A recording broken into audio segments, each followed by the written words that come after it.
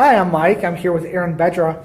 Aaron has uh, contributed to the Clojure language. He's also spoken uh, extensively on Clojure and functional programming and all kinds of other neat stuff here at GeekFest and well, a few uh, conferences like No Fluff Just Stuff, uh, RailsConf, and uh, uh, also Clojure Conj. Yeah, Clojure Okay. Conj, Strange Loop. Okay, we, right now uh, we're just looking at the relaunch of the Clojure Koans website, and I just wanted to ask: uh, this is a teaching tool, Clojure Koans. It's a it's a teaching tool for for. Well, can you describe what Clojure Koans is? Yeah, so the whole thing actually started. Um, uh, Jim Weirich and EdgeCase had put together the Ruby koans for um, you know learning Ruby, exploring the language.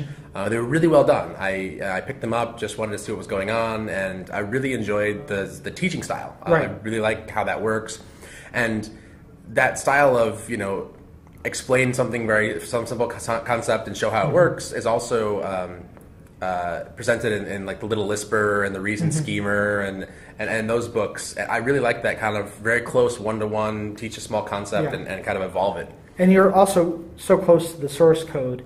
You're not in another tool and a little website yeah, or something like that. and, you know, you, a small amount of work can be done to just kind of bend the language a- a- mm-hmm. into a little DSL. You know, Ruby and, and mm-hmm. Clojure both have some some great ways to do that. So you kind of bend it to your will and make it work the way you want, and you kind of create this little learning environment. Um, so I, I tried to mimic um, what Jim had done with the Ruby koans uh, very closely because I like that style. Right.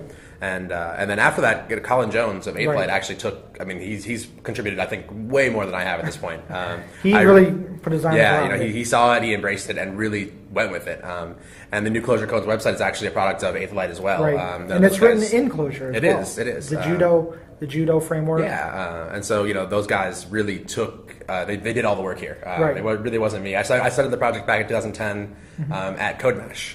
Oh, okay. Um, so this was actually a project at a conference. Yeah, so at, at, at CodeMash in 2010. Um, a full bunch of folks had talked about you know the Ruby koans. They they, they were becoming popular at that point. Uh, with said, hey, what about a set of functional language koans? And we actually started the project as a collection of Scala and F sharp, Clojure. Um, uh, I don't remember. A lot of these people participated. Yeah, because originally it was just kind of functional, and you just had an umbrella. Yeah. this kind of seems to focus Yeah, it- now. So the Scala forked off into their own repository um, eh, over into Bitbucket, and, and those kind of they're they're much more popular there now. Um, and so Colin and I talked about just making our own uh, Clojure koans, Okay. and that's kind of where that came from, and everything kind of started there. Since then, it's actually forked off to its own engine, and then all you do is provide the exercises. Oh, okay. And so other people have approached about doing things like the Cascalog koans and maybe the core.logic koans. And but they have, uh, it's not now in like a plug-in architecture. Yeah, there's a li- there's a Leiningen plugin and there's an, an engine you install, um, and it actually will set up a koan for whatever a koans project for whatever you want. Oh, okay, and then you just add the koans. Yeah, you just add the exercises and go. So it's Oh, actually this nice little modular thing now, um, and it's it's become kind of a nice little way to Mm-hmm. to start to teach uh, something about your project or some concept. Mm-hmm. But you know, this was just the Clojure koans is about the language. Um, Right. uh, no add-ons, no plugins.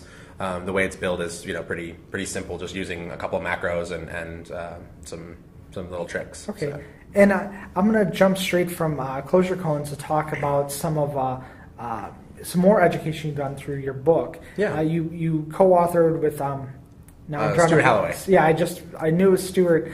I wasn't going to say Smalley or, but uh, but you co-authored a book with him. Uh, what was that like? Uh, coming from Clojure and being a coder and then writing a, technical book.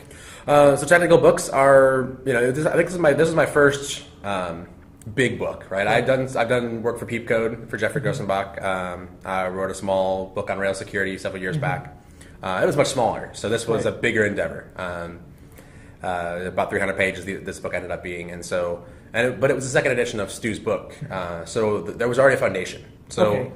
It was much more daunting than the PeepCode book for me, but it was also less because it wasn't, uh, you know, a blank slate. Right, and so with that, it- I mean, you you you'd been you've obviously been doing uh, Clojure for a very long time, and you've contributed to the code base.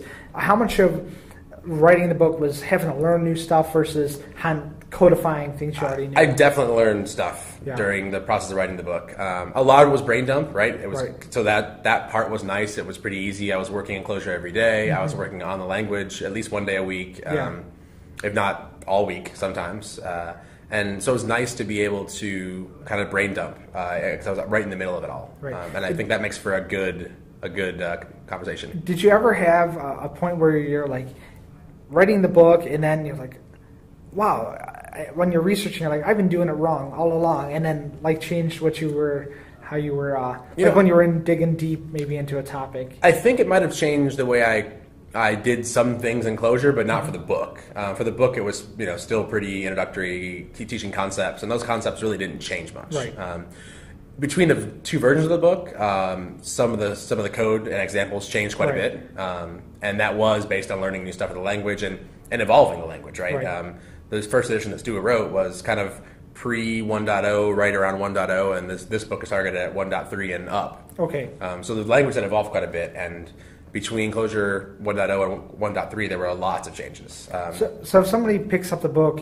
it's still relevant. yeah, absolutely. Okay. Um, yeah, this is you know a couple things have been released since then, uh, but there are this this book is still very relevant. Um, you won't find code examples broken or anything like that. Nothing has changed interface wise. Um, Oh, okay. So the code examples would still work even if you used them with you know 1.4 1.5, as far as I know. Um, Right. I've, I've tried some most of them. So Okay, and uh, you know, just the last kind of group of questions is you- you've you've gone and, and spoken at a lot of different conferences. Uh, you've gone and RailsConf, uh, No Fluff Just Stuff, ClojureCon, very different communities. Yes. Just in those three conferences. yeah.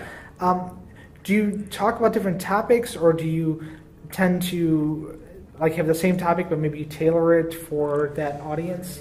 So I talk about different stuff. Um, you know, it definitely tailored for the audience. Always tailored for the audience. Um, having a good conversation where everybody's on the same page is really important. Um, you know, I think the idea of a talk is more to inspire than it is to teach, Right. Because you only have a short amount of time, right? Right. Uh, you really can't teach somebody. Uh, uh, you can't teach a group of hundred to thousand people much in an hour, Right. Right. That's Brian Lyle basically said the same thing. It's you come out, you do a little entertainment, you share some knowledge, and then you try to get them to go and Yeah, it, it's really about inspiring. It's about somebody taking away something you said that excited them, and then going and researching and, and learning on their own.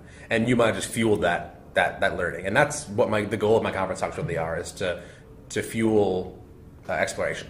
Okay. And just uh, when you're preparing for your presentations, are are you one of those types of people that likes to sit down and figure out this is my script, or do you kind of just say I know this thing? Here's the general gist of what I want to talk about. I always write an outline. Um, Okay. So I'll fire up Emacs and org mode and write an outline, and um, you know that has gotten me through lots of things. Okay. Um, and the reason I do that is because because it's the story is important, and when you break that down, it it, it gets rough to follow. Right. Um, and if you go if you're moving really fast, because you know an hour's not a long time, so you have Right. to move quickly.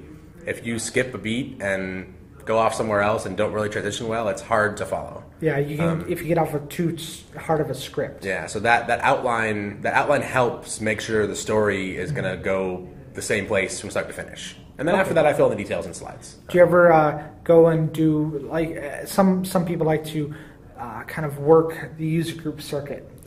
Sure. they do. Do you go and and do uh, pre pre presentations at user groups to try out? Sometimes yes, sometimes no. Um, it just depends on what's around, what user groups are happening. Um, I'll use GeekFest here at Groupon as, Right. as a platform sometime. It happens more regularly, uh, every every week. Right. Um, so there's more chances to hit there. Um, you know, you never know whether or not you're going to be around on a certain user group night, and you know they only happen once a month, so it's Right. harder. But yeah, user groups are definitely uh, a great place to, to test ideas. All right, great. Well, thank you very much for taking Yeah, the time you. to sit down. Thanks.